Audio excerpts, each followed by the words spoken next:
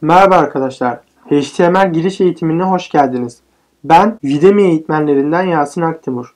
Eğitimin içeriğinde HTML nedirden başlayarak link oluşturma, resim ekleme, listeleme, tablo oluşturma, form elemanları gibi tüm HTML etiketlerini öğreneceğiz. Udemy ile iyi öğrenmeler.